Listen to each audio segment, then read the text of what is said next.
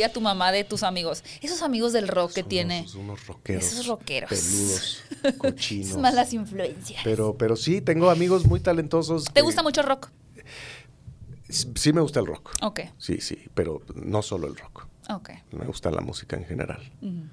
Eh, y, y empecé a hacer es- eh, videoclips. El primero que fue fue el de La Lupita, que se llama eh, Hasta Morir, que son mis amigos. Entonces les dije, vengo regresando de la escuela, consigo equipo, consigo latas de cine, hagamos su, su, su videoclip y, y lo hicimos, así que acá entre nosotros. Y quedó, Wow. quedó bien padre, me gusta mucho ese videoclip. ¿Viste la película de Sing Street?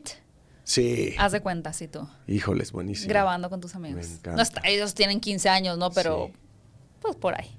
Pues lo haces, lo haces. Y tienes cuates y tienes conect, o sea, pues con- conectes porque trabajo y la gente me conoce, entonces pues sacas los recursos de donde salen, de donde puedas. Eh, y me metí a casas, eh, o sea, yo venía con la convicción ya de volverme director, así, yo ahora voy a ser director y yo ya no voy a actuar, yo quiero ser director y voy a ser cineasta, y bla, bla, bla. Entonces eh, empecé a moverme por las casas productoras y pasé por varias casas productoras grandotas, de las que hacían los comerciales más acá, cuando todavía era la colita final de la, de la- de- de la publicidad que donde se gastaban mucho dinero. Sigue pasando, sigue pasando, pero que eh, los presupuestos empezaron a bajar cuando yo ya estaba dirigiendo comerciales. Qué buena suerte. Sí, típico, típico.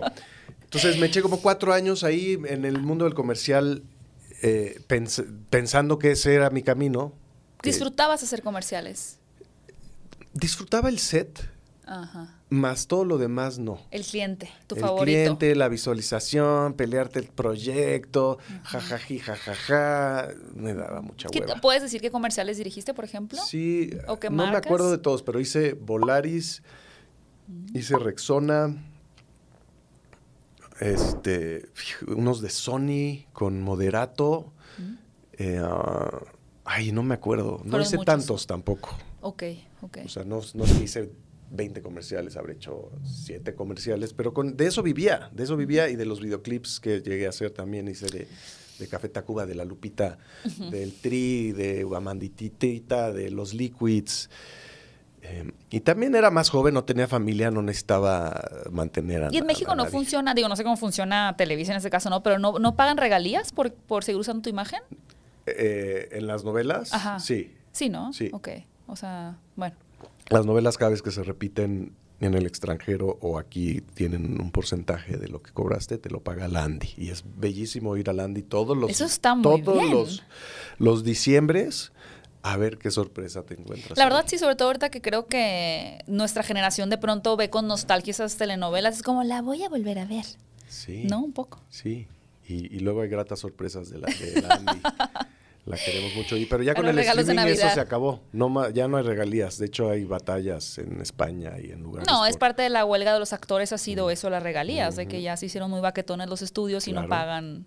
Claro. Eh, ya en tuvimos un breve momento de corte entre el bloque 1 y el bloque 2 y ya vi el comercial, el teaser, y me parece sumamente inteligente porque, digo, todo es respetable, ¿no? Pero me parece muy padre que, que luego existan esos actores, como es tu caso, que sepan abrazar como esos personajes icónicos que todavía trascendieron incluso en formato de meme, como por ejemplo hace poquito que salió un comercial de Mean Girls, eh, sí era Mean Girls, ¿no? Donde salía Lindsay Lohan, el de Walmart.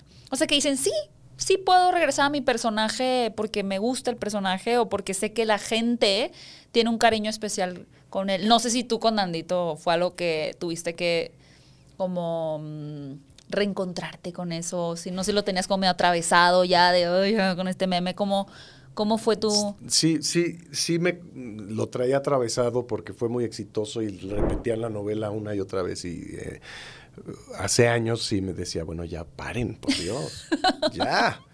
Y yo hacía películas y tal y me daba coraje que la gente me veía y solo veía la cajeta de Nandito en mi cara.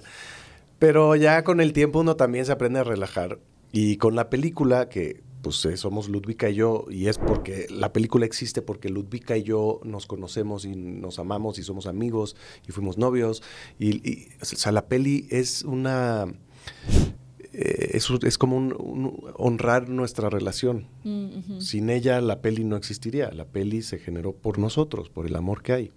Entonces, estaba de pechito utilizar todo ese material, porque ¿qué película conoces en el universo, en este multiuniverso, que tenga la posibilidad de vender a los actores, una comedia romántica que pueda vender a los actores desde niños? No, o sea, tendría escrita el club de Mickey Mouse, pero no hay una comedia con Ryan Gosling y Britney Spears, o Cristina Aguilera y quién sabe qué otro niño ha sido Mickey visto, Mouse. Nunca hemos visto eso. Ajá. Entonces era así de bring it on, o sea, Ujú, vamos te a reconciliaste. hacerlo. Pero ya, yo de antes, pero y ahora lo usamos a nuestro favor.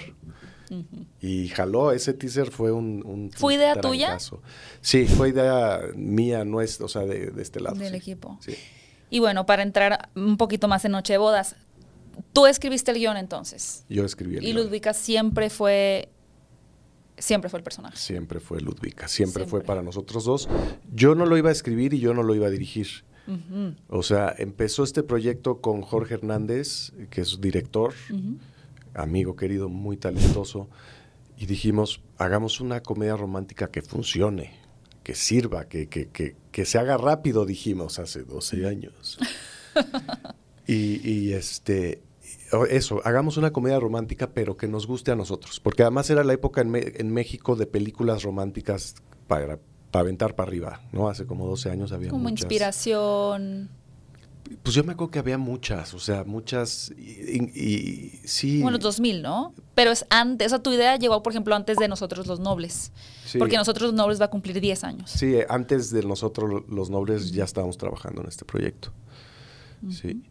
Eh, entonces dijimos que pero una comedia romántica, pero que, que nos guste a nosotros. O sea, respeto a todas las comedias románticas. Yo he estado en algunas de ellas que no soy yo el público para eh, ellas, pero a mí me encantan las comedias románticas. Las buenas, las que a mí me gustan, me fascinan. Entonces dijimos, pues hagamos una, pero que sí nos guste. O sea, como que esté buena, que esté que tenga onda. y, y inmediatamente pues Ludwig, o sea, para mí eso implicaba ya, ya, ya de ya sin pensarlo, Ludvika y yo. Ujú. Entonces, Ludvika desde entonces le entró al proyecto y ha sido parte del proceso y por eso es productora y porque Mm.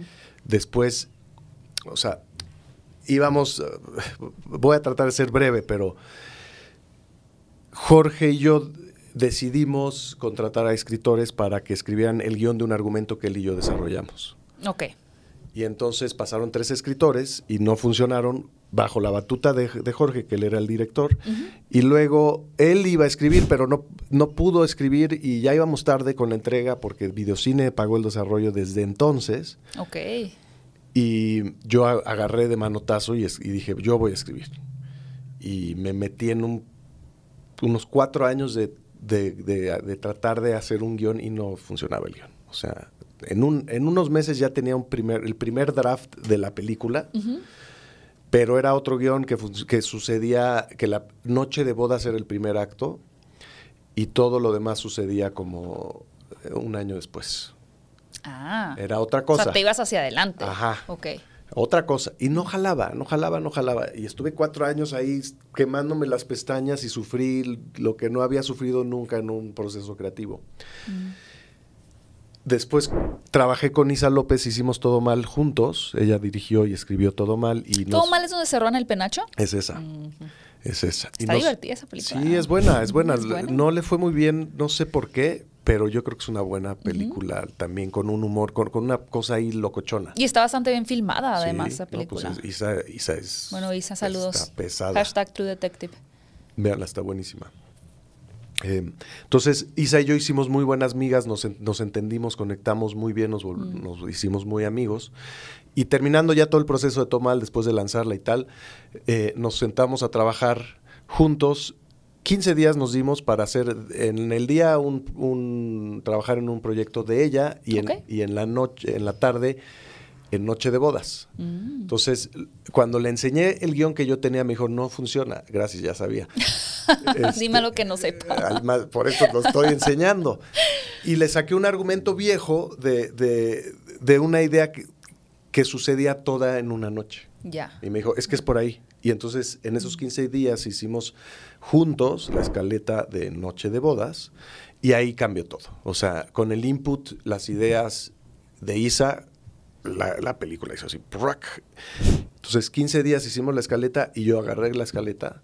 Que la escaleta ya tenía hasta diálogos y hay diálogos de Isa que se que colaron hasta el- la película. O sea, por, por eso compartimos el crédito de, guio- de- de guion, porque aunque lo escribí yo después solito en 15 días, la realidad es que el input de Isa fue eh, estructural, formativo, eh, inspirador y, en, en fin, sí fue muy trascendente para la película. Ok. Eh, y entonces 15 días escribí yo la película y ya, teníamos la, se la enseñamos a Videocine. A- Ya años después, ya nuestro contrato de, de, acordaban desa- de de qué es desarrollo ya se había caducado, pero, pero Videocine aguantó y Que me da una duda con eso. De no haber sido porque tenías el contrato, ¿crees que hubieras ya deshecho la idea de, la- Noche de Bodas hace mucho tiempo? No, yo tenía... No Entonces era estabas porque- muy casado con esa idea. Sí, ya, o sea, tenía muchos años trabajando. Ya se, se me había olvidado. El otro día me senté con un amigo y me recordó cómo en las noches estábamos haciendo una novela en Campeche, padrísima, divertidísima, de verdad. Y yo me iba todas las noches a tener mis juntas con Jorge, Mm. eh, de nerd diario, a escribir. Entonces, sí, sí le metí mucha candela y me, de- me- me sentía que mi vida tenía un propósito. Claro, ¿sabes? sí, Era es como lindo. esto, yo quiero hacer esto. Y confío en esto y creo en esto. Y luego sí, había un deadline, pero la verdad es que Videocine nunca nos dijo, oigan, ¿qué onda? Jamás, jamás, jamás, jamás. Siempre se portó y hasta la fecha trabajar con Videocine ha sido un regalo. Eh, entonces, ya, ya con ese guion se los, se los enseñamos, así de que, ah, son los de que les había, ah, pásenle a ver. Y les gustó mucho, Mm. mucho. Y entonces ahí la película ya empezó a caminar en, Ay, sí, en su pre, pre, pre, pre, pero ya empezó a caminar y estímulos fiscales, nos, nos rechazaron la primera vez que, que- que aplicamos.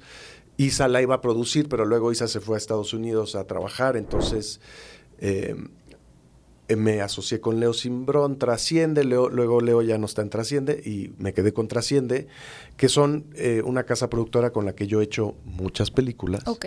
entre ellas Todo Mal. Entonces, gente que yo ya conocía, con la que tengo confianza. Y ellos aportaron la, el paraguas de infraestructura y de know-how de, de humano de cómo hacer las cosas. Eh, y yo formé mi casa productora que se llama Agasajo con mis dos socias. ¿Por qué se llama así? Ay, porque la, Ay. la vida tiene que ser un agasajo. Filmar tiene que ser un agasajo, si no, qué chiste. Sufrir. Un poquito, sufrir tiene su magia, ¿eh? O sea, La hay es estrés y hay, sí, pero, pero él tiene que ser un agasajo. Yo, yo he estado en sets donde la gente, los directores y los productores se la están pasando horrible o son neuróticos y están gritando. No, no, no, no.